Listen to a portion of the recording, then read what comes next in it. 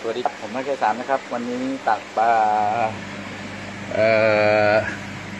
อะไรเดียสีแตกสีหลุดมาตั้งแต่เด็กให้ชมกันนะครับ ขนาด 73 เซนเลี้ยงมาตั้งแต่โตไซ10กว่าเซน20 เซนไม่เกินนี้นะ เลี้ยงมาประมาณอะเลเซว่า 2 ปีแล้วกัน อายุตอนนี้คือ 75 เอ้ยไม่ใช่ อายุตอนนี้ก็คืออาเกะทันไซนะครับ หรือปลาสองปีกว่าๆสองปีสามเดือนสี่เดือนเนี่ยแหละฮะ สีมันแตกตั้งแต่เด็กนะ สีมันจางนี่มันดีขึ้นมาเยอะแล้ว ก็ยังมีตรงจุดนี้นะครับ แล้วก็จุดนี้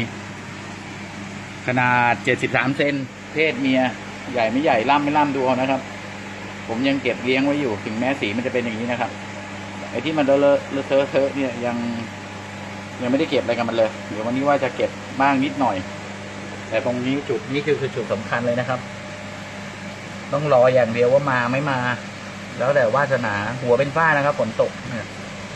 ช่างมันเป็นหวัดปลาปล่อยมัน ไม่ได้กังวลอะไรนะครับ เป็นฝ้าฝ้าขาวตอนฝนตกดูความล่ำนะครับ เมืองไทยก็เลี้ยงล่ำอย่างนี้ได้นะเจ็ดสิบสามเซนปลาสองปีเศษๆอ่าดูเอา ใหญ่ไม่ใหญ่ดูเอาบากล่ำปึกเลย เดี๋ยวจะเก็บไอ้จุดที่มันหลุดหลุดออกมาก่อนนะครับ อย่างจุดนี้ จุดนี้ จุดนี้นะครับ ตรงนี้ไม่เก็บ